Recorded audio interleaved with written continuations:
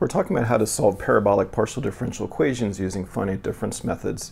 In the previous video, we looked at explicit methods, which provide a very straightforward way to get approximate solutions at each time step as we march forward in time delta t by delta t. But we found that there is an issue with numerical stability. So we want to address how we do the numerical stability analysis in this video and the next video.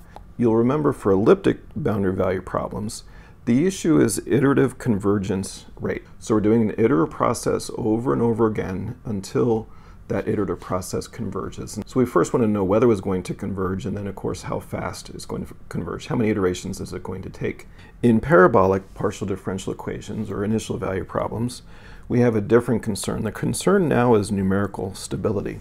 So we're no longer iterating, instead we're marching in time. And the question is, Every time you obtain a new approximate solution at each time step, you're introducing additional round-off errors. You're essentially perturbing the system by a tiny little bit. And the question is, what does the numerical algorithm itself do with those tiny perturbations? If the errors decay, then it is stable. If the errors grow and become larger, then it is unstable. So we're going to look at how we can analyze the numerical stability of our numerical algorithms. You'll remember that for the first order explicit method, I gave you the criteria for stability. S had to be less than or equal to a half. And we're going to show here where that result comes from. There are three approaches to performing numerical stability analysis. Matrix methods are the most rigorous approach because they evaluate the stability of every aspect of the scheme, including the treatment of boundary conditions. It's also the most difficult because it involves calculating the eigenvalues of a very large matrix. So it's the most rigorous, but it's also the most difficult. The most common form of numerical stability analysis is known as the von Neumann method. It's based on a Fourier analysis, but it's only applicable to linear initial value problems with constant coefficients. So this is more restrictive than the matrix method. If you do have a nonlinear problem, then you need to linearize it first before you can do the numerical stability analysis. It does not account for boundary conditions, so it's not as rigorous as the matrix method, but it does give us guidance. So the actual stability criteria might be a little different than what we get from a von Neumann analysis, but it'll give us good guidance in terms of these stability criteria. It is much easier to perform in general than matrix methods. So this is the most commonly used approach. So nine times out of 10, if someone says they did a numerical stability analysis, more often than not, that's been done using the von Neumann method, this Fourier approach. So we're going to discuss in this video the matrix method. It's relatively simple conceptually. It's just hard to get all the eigenvalues. And then in the next video, we'll look at the von Neumann method, which is the more common approach. There is a third approach known as the modified wave number analysis approach, and that's based on results that we have for stability of ordinary differential equations. So we can extend those ODE stability properties to corresponding partial differential equations in both time and space. So if you already have a result for a corresponding ODE, then you can extend it using this approach to a PDE. We're not going to focus on this approach here because it's specific to those certain types of problems. So the matrix method. So let's imagine that we have the exact solution of our difference equation. Obviously we don't. That's why we're trying to approximate it numerically. But let's just pretend that we do. We'll call that u hat. So ui n hat is the exact value at x is equal to xi and t is equal to tn of the solution of our difference equation. Then we can define an error. The error will be the difference between the numerical approximation that we have as we march forward in time and this exact solution of the same difference equation. So that's the error EIN. Now for the first order explicit method that we looked at in the previous video, our difference equation looked like this. Remember we had an explicit expression for ui n plus 1, n plus 1 being the next time level at which we don't know the solution, in terms of values of u all at n, for which we do know the solution the previous time step. So it was 1 minus 2s all times uin, plus s times the quantity ui plus 1 plus ui minus 1. And remember here that s is alpha delta t over delta x squared. Obviously delta x is, this, is the spatial grid size, delta t is the time step, and alpha is the diffusivity, which is a physical parameter for the particular problem that we're looking at. Let's suppose for now that we just have Dirichlet boundary conditions at both ends of the domain. Now because u and u hat both actually come from solutions of the difference equation, they both of course satisfy the difference equation. They are not the same, but they both satisfy the difference equation. Therefore, if that's the case, then the error has to satisfy that same difference equation as well. So we can simply replace the u's with e's here. So ein plus 1 is equal to the right-hand side with the u's replaced with e's. Now, if we do have Dirichlet boundary conditions on both ends, we know the value of u at both ends, and therefore the e would be 0. The error would be 0 at 1 and a capital I plus 1. Now we can write this in matrix form. This is not the way we actually solve it, but we can write it in this way in order to do the numerical stability analysis. So on the left-hand side, we have the error vector. On the right-hand side, we also have an error vector. And then we have a coefficient matrix that has the coefficients on those error terms. So it's going to look like this. We have en plus 1 is equal to a matrix A times the vector en. The en's are known from the previous time step. We are looking for the errors at the next n plus first time step, and then the A is the coefficient matrix. So we can imagine going from one time step to the next by simply doing this pre-multiplication with this matrix A. Okay, so E then is just all of the unknown E's. It's the E's in the interior to through capital I, because at 1 and capital I plus 1, we know the values from the Dirichlet boundary conditions. Now A, we have the 1 minus 2s down the main diagonal, and then we have s and s on the upper and lower diagonals. This is specific to this particular situation. The first order explicit method applied to the 1D unsteady diffusion equation. You change anything about what I just said, and you change the matrix A. But in this case, you'll notice that this is a Toeplitz matrix because it has the same values along the diagonal, and it's tridiagonal. We only have the three diagonals which have non-zero values. Everything else is zero. Okay, so keep that in mind. The criteria in order for our numerical method to be stable is that the spectral radius, which is the largest eigenvalue by magnitude of this matrix A, has to be less than or equal to 1. Now, why is that? It's the same argument that we made in iterative techniques applied to elliptic problems. Totally different scenario, iteration versus time marching.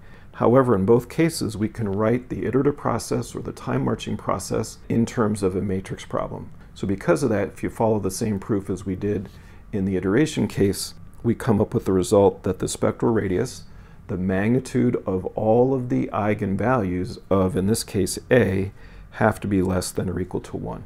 Now there's capital I minus 1 such eigenvalues corresponding to the size of the matrix problem that we need to solve.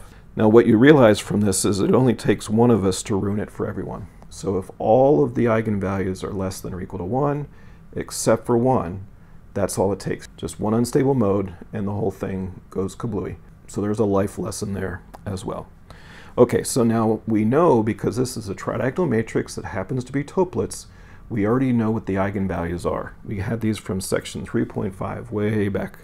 So the lambdas are 1 minus 4s times sine squared of j pi over 2i. You'll notice I'm using j here to go from 1 to capital I minus 1 because we're shifting due to the boundary conditions. So if the magnitudes of the lambdas all have to be less than or equal to 1, that's the same as saying they have to be between minus 1 and 1. So we have these inequalities that we have to satisfy in order for our numerical method to be numerically stable. Well, the s here is always positive. That's alpha delta t over delta x squared. That's always positive. Sine squared is always positive. And so 1 minus a positive number is always going to be less than 1. So the right inequality is satisfied for any positive value of s. And again, s has to be positive. So that leaves us with the left inequality that we need to check for. So that says that 1 minus 4s times sine squared of j pi over 2 cap i has to be greater than equal to minus 1. So let's see what this says about s. If I subtract 1 from both sides to get rid of this, and then I have a minus 2 on the right, and if I divide by minus 4 on both sides, then I get s sine squared is less than or equal to a half. Remember, when you divide by a negative number, you have to switch the direction of the inequality. So the greater than or equal to becomes a less than or equal to. Now sine is always between minus 1 and 1.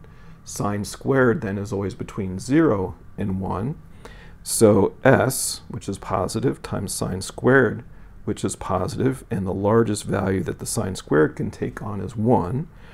That tells us that s has to be less than or equal to a half. If you need to think about the logic there, just pause the video and go back. Listen to the argument very carefully that justifies this. So the s, which is alpha delta t over delta x squared, has to be less than or equal to a half for the Euler method with Dirichlet boundary conditions apply to the 1D unsteady diffusion equation. So it is conditionally stable. There are only certain conditions for which it's stable. There's other conditions for which it's unstable. And remember what that effectively means is once we choose our spatial grid size, the delta x, this effectively gives us a limitation on what the time step can be. Remember the alpha is pretty small. The delta x, of course, is small. You square that, it gets even smaller. So this was a restriction on delta t.